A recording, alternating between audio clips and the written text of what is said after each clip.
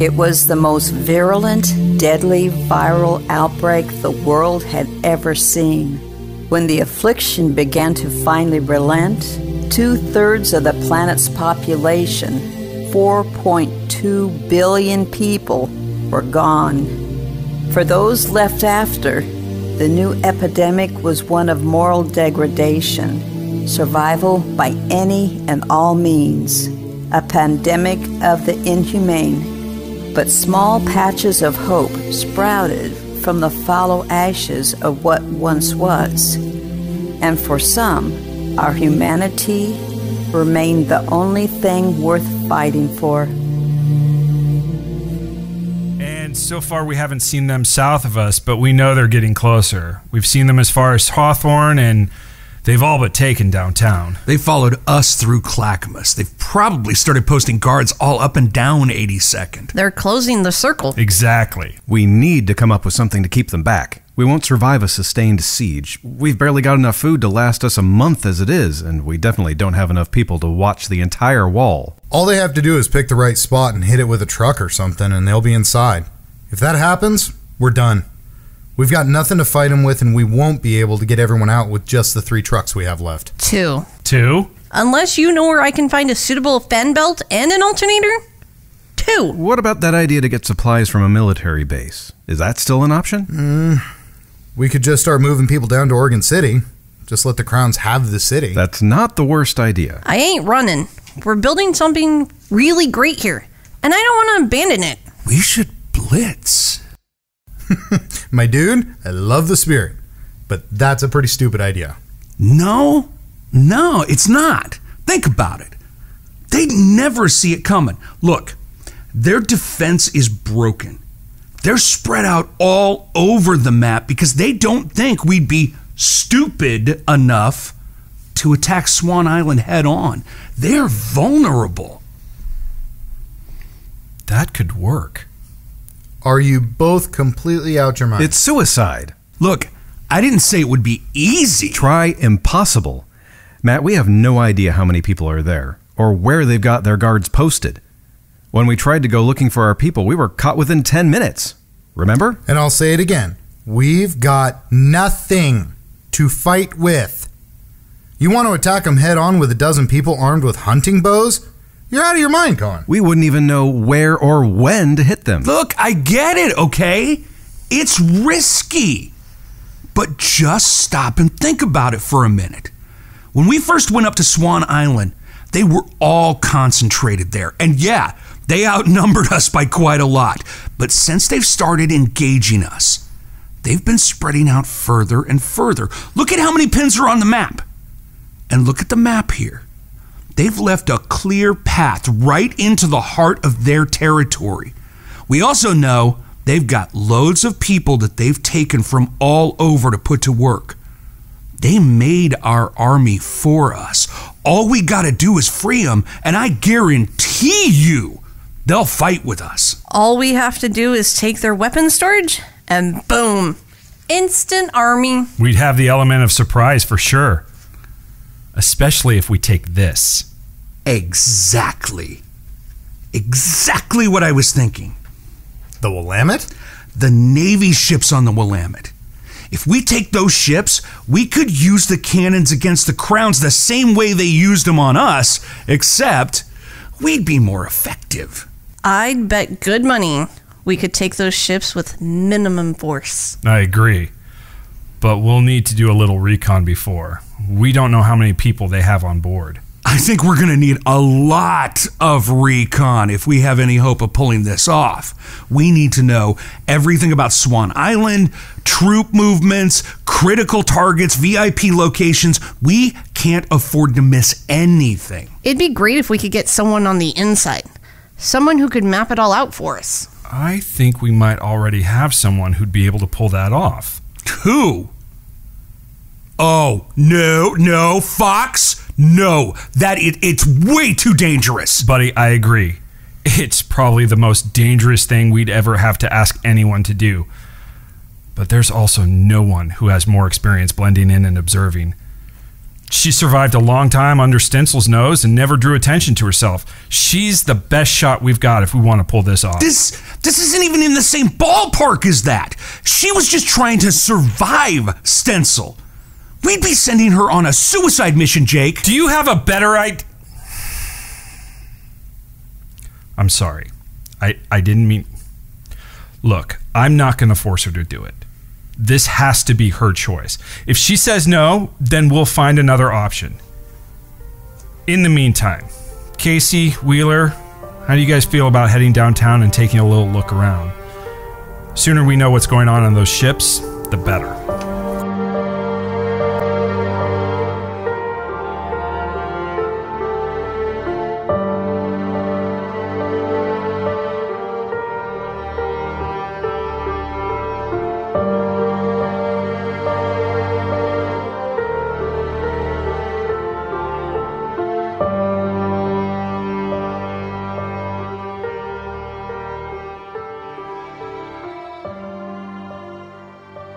Are you both out of y'all's damn minds? That is the stupidest ass idea I have ever heard. You can't seriously be considering this, Jake. This seems like a really bad idea. I'm inclined to agree here. How could we possibly pull off an attack like that? The same way they did. Except we'll do it better. What does that even mean? Okay, look, it's really very simple. The Crowns have been chasing us all over the city, trying to find out where we've set up camp. And after all this time, they've left themselves completely open to a full frontal attack. They're so overconfident that this would be the last thing they'd expect. And because they're spread so thin, it gives us the perfect opportunity to hit them hard and hit them fast. But we need to start preparing now. This isn't something that we can just load up people and go do tomorrow. It's going to take time and very detailed planning. In fact, this could be our first step right here. Come. Hey, Casey said you were looking for me? Come in, Shauna. Uh, thanks for coming so quickly. We need your help with something kind of big. You don't have to do anything if you don't want to. What's going on? Just know that you can say no, and I encourage you to just say no. Matt. It's too risky. She won't have anyone there to watch her back, and we won't be able to pull her out. I know you're worried, buddy, but she can do this. Can somebody please explain to me what this is all about? We came up with a potential plan that could end hostilities with the Crowns for good. That's amazing. But how would we do that? From what I've seen, they don't seem like the type of people open to negotiations. That's why we're going to attack them. Okay, that seems like a stupid idea. Hallelujah. That's what we said. H- hang on. Now, I'm not totally convinced that this is a good idea, but it does have some merit. I mean, if the crowns really are as vulnerable as they say, then maybe a surprise attack could work. But, like, my question is how do we do that? We don't have a lot of people, and last time I checked, we were pretty well dry in regards to ammunition, right? Yes, on both counts. We don't have enough people to pull this off, but the Crowns do. I'm not following.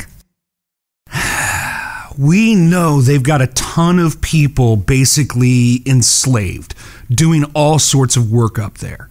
And they've got loads of weapons and ammo. You're assuming they have all that? Let's call it a half assumption. We've seen them with military level weaponry, and they don't seem to be short on ammo given how much they waste trying to take us down. Which brings us to why we need Shauna. In order to plan an attack like this, we need to know the layout of their base of operations. And to get that, we need someone there on the ground. Someone who'd be able to move about and get the lay of the land, scout for primary targets. Someone who'd be able to reach out to their prisoners and see if they'd fight with us. And you want me to do it? Actually, I I do not. Uh, I think it's a terrible idea, and we need to think of something else. I agree. This sounds really dangerous. Not really. I mean, I don't think it would be too hard to get in and scout things out. I can totally do it. It isn't a question of what you can and can't do, Shauna. These guys aren't like Stencil's people. They are cold blooded killers. They're the worst of the worst of the worst. Don't take my word for it, okay? Ask Kate. She'll tell you what they're like. He's not exaggerating, sweetie. These people are really bad. The things I've seen them do, it's it's unspeakable. I'm not going to lie to you here, Shauna. It's going to be extremely dangerous, and if something happens, we won't be able to help. You'll be on your own for the most part. If I were to do this, how would I get you what you needed? We'd have Casey hidden but close by. You'd have to arrange to meet with her to relay anything you learn. But like I said, if you get in trouble, she won't be able to get you out. It's it's really important you understand that. I also want to be clear that this is your choice. If you're unsure or you don't think you can do this, just say so and we'll figure something else out. But the truth is is that you're uniquely qualified for this and I have every faith that you'll be able to pull it off. What do you guys think? Personally, I think those boys have lost their minds. However, I know how precarious our situation is. While I don't know you that well, Shauna, I do know that you managed to survive a pretty horrible situation in Oregon City. And as loath as I am to admit it, I trust Mr. Fox. If he says you can do this, then I believe him. I really, really don't like the idea of anyone putting their life at risk like this. I mean, especially if we can't help them out if things go bad. On the other hand, if it means we can end this stupid war once and for all, I gotta say, it feels like it might be worth it. Are we sure there isn't a better option, Jake? Not if we want to stop the crowns quickly. The longer we wait, the closer they get. Kate? Shauna, I I think what you managed to do is amazing. Hiding all that time in plain sight the way you did was nothing short of miraculous. But this is very different. Down there, all you had to do was do your chores and not speak out. This isn't going to be like that. These people, they are truly sick. They encourage cruelty. I know. I fought them too, remember? No, no, you haven't. You haven't even seen them. That thing in Clackamas, that was nothing. We were lucky that we were able to outtalk them. That's it. Huxley could have called my bluff, and his people could have eaten us alive. We're extreme. We were extremely lucky that day, Shauna. He's right. You've never actually seen them at your worst. If you do this, you will, and I am terrified of what that could mean. How long would I have to be there? That really depends on you. We have almost no intel on Swan Island. We need to know how many of them are still there, how many prisoners they have, where do they keep their weapons. We need to know everything, even how often they use the bathroom. The more info we have, the better we can plan our attack. But how long would that take? How long would it take one of you two? A place that big, I, I would guess it would take two to three weeks. Oh, I'd miss your wedding. Yeah, y- y- see? All the more reason for you to say no. We can forget the whole thing and find another solution. Somehow I doubt it. What? If you really could have come up with something better, then I wouldn't be here. Let's be honest, we're getting desperate. And I'm not sure that I like the idea of going in there and hanging out for two or three weeks alone with a bunch of psychos. But this is my home now. And you guys mean the world to me, so if this is how I can help, then I'm in. Can we have the room? Of course. Matt, It's okay, babe. I just want to talk to her alone for a minute. okay, I'll be outside if you need me. All right. I need you to listen and listen good. I If you're about to tell me that this isn't going to be like the farm, I've got it. No, you don't. You have no idea how bad this is going to be. These people make the unseen look like a church choir, okay? I just need you to. Okay, look. We had to go there because some of our people went missing. When we made our escape, Kate got separated from us and ended up hiding in their leader's special room.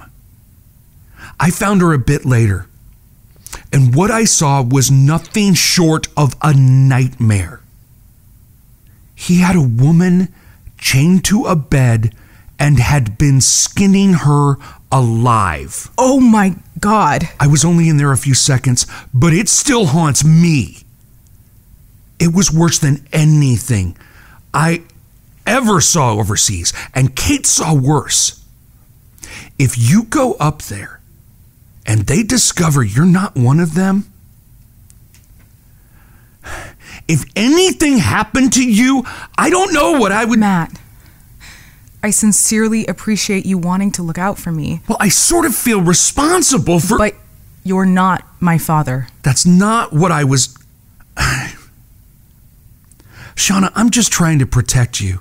The same way I'd try for anyone else here. I've never seen you flip out when Wheeler volunteers to go looking for supplies, or when Casey needs to find truck parts, or when anyone else leaves to find things we need. Well, I. I just want. Matt, I am a grown woman who is fully capable of taking care of myself. You've all made it very clear what could happen if I got caught, and I'm still choosing to go.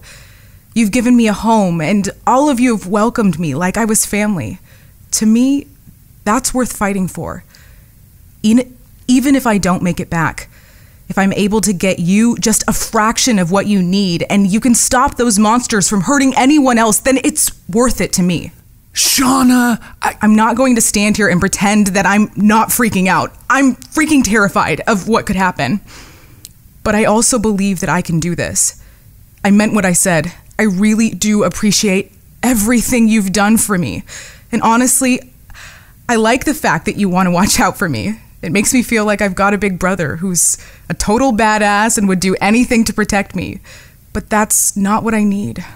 Right now, I need you to trust me the way I trust you. This is my home now, and this is how I can protect it. It's how I can protect you. So let me do this. Are you finished? Are you? Okay.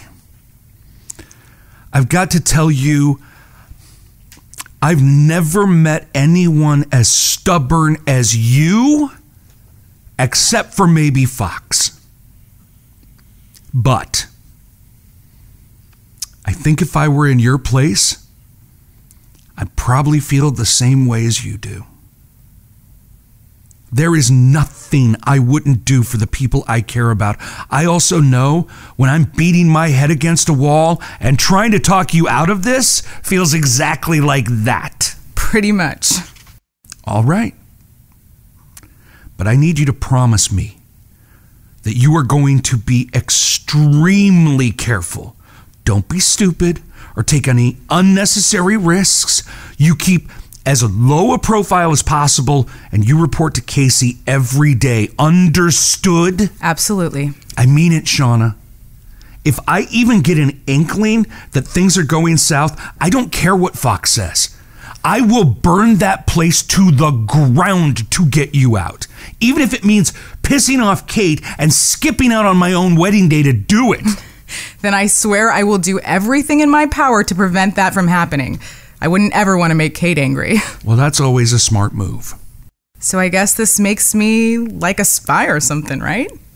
Oh, do I get some cool gadgets? Oh, how about a code name? Something really cool like Lady Viper or Shadow Fox or or, what's that chick's name from the Marvel movies? The, the spy lady? Black Widow? Oh yeah, just just call me Black Widow. I am not calling you Black Widow ever. Come on. I can use your code name too. What code name? Mr. Stuffies. Are you kidding? Kate! I swear I am going to do something horrible to her. Actually, Casey told me about that. Of course she did.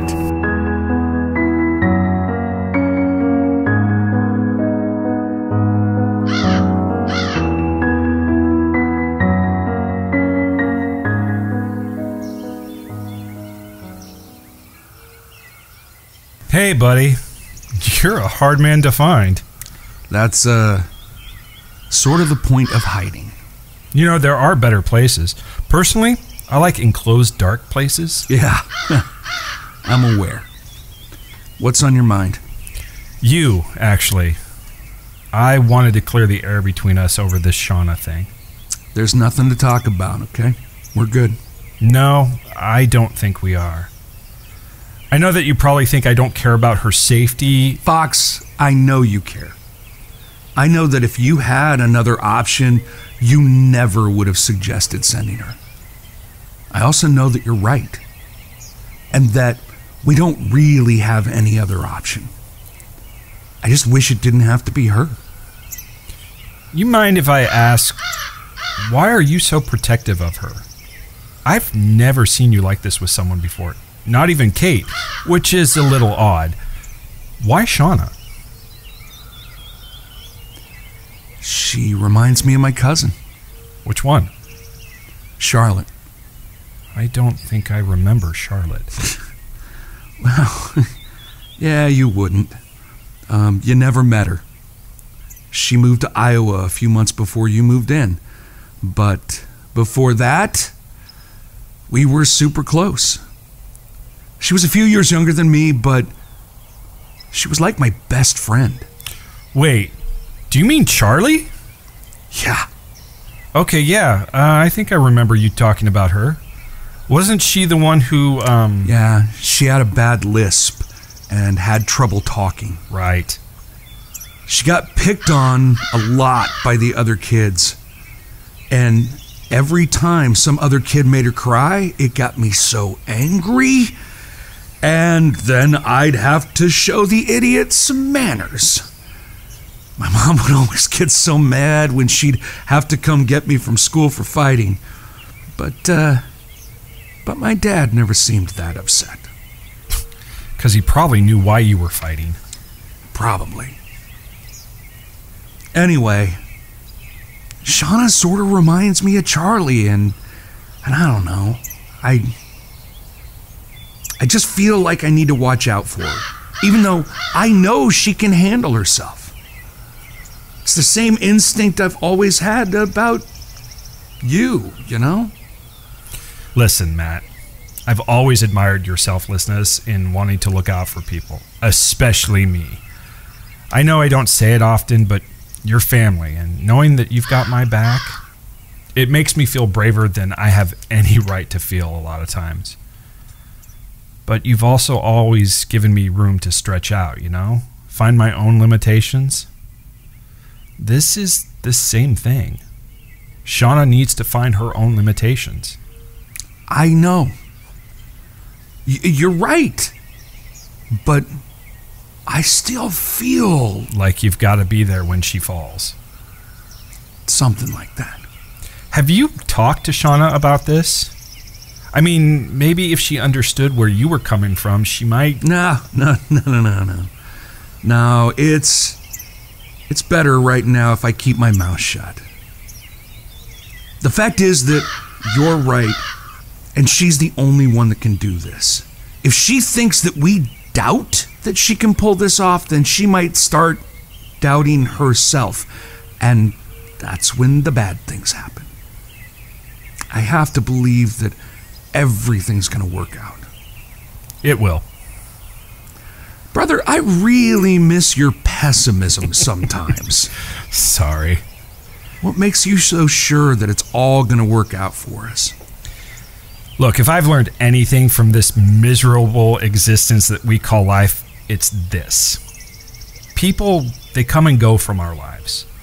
Most people are in and out in a flash, but the ones who stick around, the ones we build those connections with, those are the people that matter. Those are the ones that we live for. Yeah, I look around at the family that we've built since the collapse, and I know that these are the people that are going to be around for a long time. And Shauna, brother, she's as strong as they come, even if she doesn't see it just yet. And maybe it was there all along, or maybe she's learned it from her big brother. That's That's really deep. Are you okay? Do you do you need to lie down? Not gonna lie, it tasted kind of bitter saying all that. Like I ate something really nasty, you know? Thanks, Jake. You never have to thank me, brother. This is what we do. We always will. Now, Why don't we head down and you can give Black Widow some last minute advice before she heads out with Casey in the morning? Oh, man. Don't call her that. She doesn't need to be getting an inflated ego on top of everything else.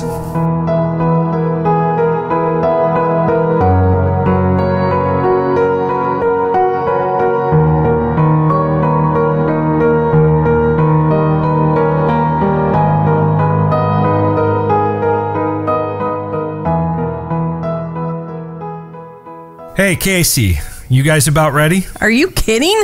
This is going to be the best vacation ever. Just don't get too relaxed, okay? Well, you wouldn't let me take any of the booze, so how relaxed can I get? Hey, head on a swivel. I got this. Don't worry. I never worry about you. Listen, everything I said about what you need to do if Shauna's caught, forget it. If anything happens, you break radio silence immediately and call me. I will be up there as quick as I can and we will burn that place to the ground to get her back. We clear? Crystal. Good.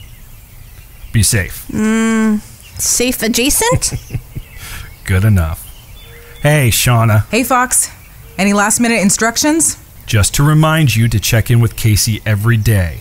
The more info you get, the better we all do. And I wanted to give you this. It wouldn't feel right sending you into that hellhole without some kind of protection, so I want you to take this. It's a 1911 Colt my stepfather owned. He was a right bastard, but he knew his weapons. You keep this close at all times. Maybe you won't have to use it, but just in case.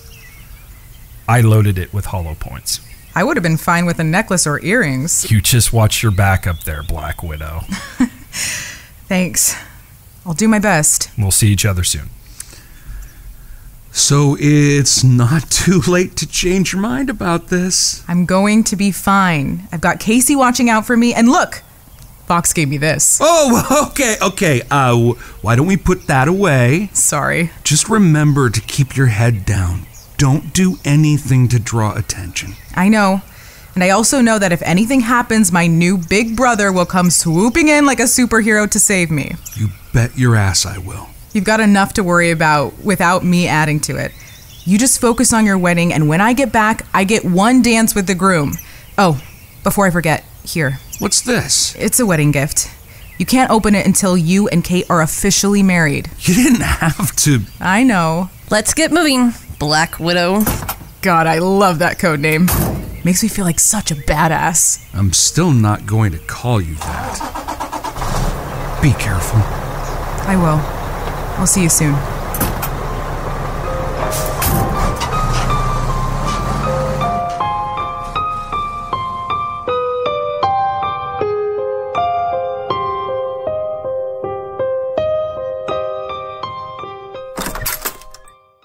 Miss Nicole, are you in here? I don't know why you can't just bring it up to the boys. I'm sure they'll listen. Their plan's already in motion. It may be too late to put everything on hold. Hey, what's going on? Who's hurt? Everyone's fine. Are you aware of Mr. Fox and Mr. Cohen's plan to attack Swan Island? Yeah, I was actually just taking stock of everything in case things didn't go as well as they think. Something like that is bound to bring in a lot of wounded. I just want to be prepared. If we don't help them, we may not need bandages. We may need coffins. That's a bit grim, don't you think? Jamie, I know that those boys have seen a lot of conflict, and I know that they believe that this little surprise attack they're planning will end this little war. But I told you before that there is a great big hole in their plan. And you also said that you have a way to make their plan work, but you haven't said what it is. I don't like keeping secrets from Jake, and I mean, I just. Has he ever kept things from you? Has he ever lied in order to protect you? Don't they all do that? Isn't it like in their DNA or something? Exactly. We're just doing the same thing they would. Let them focus on their big picture while we prepare to help them in our way. Now, Miss Nicole, I was given to understand that you had an army of sorts while you were holed up at the airport. Is that correct? No, absolutely not. We are not sending children to fight. Of course not, Jamie. Do you really think I'd be so stupid as to send kids to fight a war? I'm insulted. Well, then why did you ask about them? Because I don't know anything about battle tactics, and I can't ask Mr. Cohen or Mr. Fox without arousing their suspicion. And Miss Casey has just left, so that leaves Miss Nicole's little friends. As I understand it, they held off the crowns for quite some time. About seven months. Just what is it you're planning? Let's call it a diversion. Something that will hopefully keep the crowns occupied long enough to give our team the time it needs to succeed. And if we're very lucky, maybe a little revenge to top it all off. So, what do you say? Will you help me?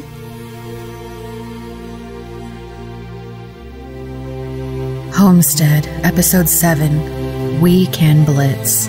Written, directed, and produced by James Robinson. Story by James Robinson, Travis Box, and Danny Hedham. Music by Me You.